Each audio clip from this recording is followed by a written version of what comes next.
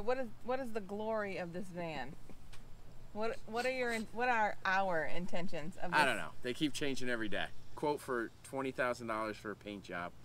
Uh, obviously, that was out the window. Uh, ten thousand dollars for a bumper, roof rack, and a ladder. That was out the window. Um, this, at the end of the day, this is a 2011 Chevy Express with 70,000 miles on it. Um, so we just got a local here in Warner Robins. Uh, this guy Chip, he's gonna wrap it for us uh, at a significantly reduced price from twenty thousand dollars.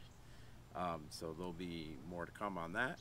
Um, and then we forewent the roof rack for now. Probably just gonna do some Amazon parts uh, because um, again, at the end of the day, like I tell everybody, we're going to be using this van, and it's not a wall crawler. Uh, it's not going to win trophies. It's not going to be posted in magazines. So, with that said, it's probably going to be a lot of Amazon parts, a lot of uh, spray cans, Functionality over functionality. over looks. Yeah. So the next like So- six months, what are we doing? Uh, the next six months will be uh, all the wiring, the hitch, the swivel seat. Oh um, yeah, a nice swivel seat so the passenger seat can swivel back to the children. Again, functionality. I'm like I'm gonna love that. The tire tire carrier, Oh yeah, get the tire out of that trunk. Yeah, and then we'll just start picking away at small stuff.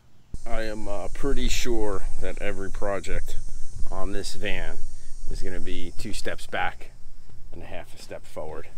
What am I putting in? Uh, this is a flat four from E-Trailer, and instead of that janky wiring that cuts into the middle of your um, cuts into the middle of your wiring, this actually just connects back, and it uh, it just connects in between your brake light connectors, which are right here.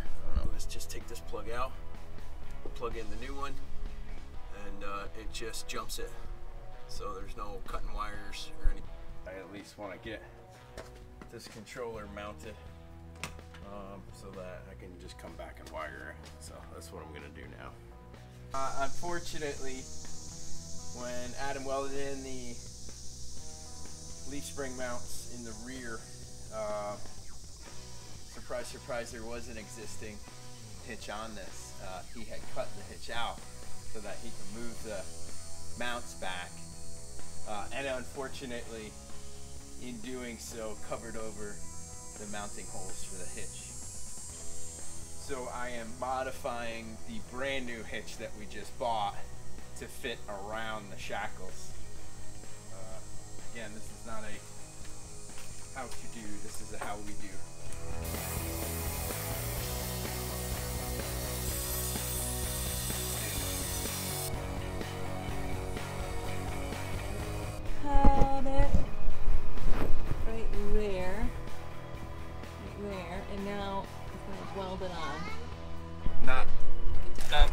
The prettiest welds.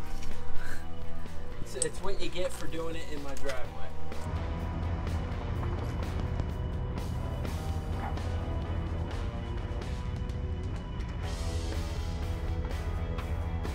All right, another day, another project. Project today is take the base off of this chair and then uh, put the swivel seat on. So mind the mess in the garage. It's uh, what happens when you get multiple projects going on at once. Uh, so this was from a company out of Portland. Bolts to the existing uh, setup, and then the seat bolts to this. So I'm just gonna take it out, swap it out.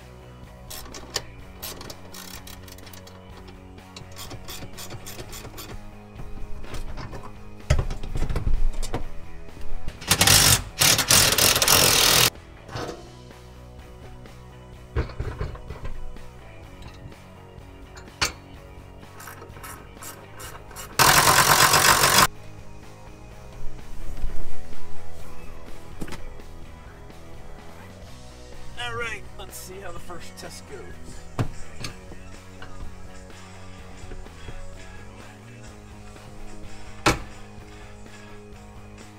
Not crazy about it, but uh, it'll work for now. Um, we'll see. Ta-da!